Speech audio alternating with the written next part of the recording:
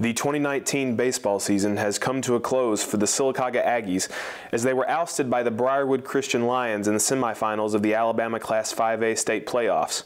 However, head coach Jeff Bell doesn't want the series loss to define or diminish what his team has accomplished.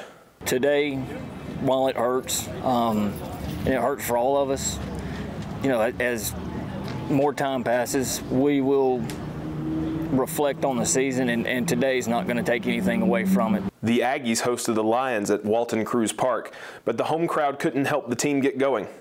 Held scoreless in the first game, Sylacauga lost both contests by scores of 6 to nothing and 2 to 1 as the Aggie bats were caught in the thickets of Briarwood's pitching. They have a strong pitching staff. Um, they're very well coached. They play sound defense. They're always in the right place.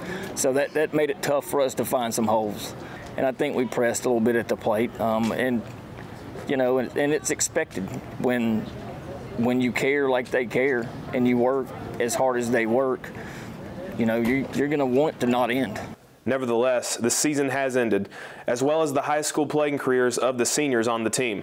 They lead in every way. They lead by example. Um, they are the first on the field. They're the last off the field.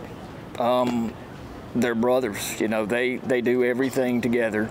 They've got a special place in my heart for sure. Briarwood moves on to Montgomery, where they will face the Springville High Tigers for the state title. Sylacauga finishes the season with a 28-7 record and a Final Four appearance.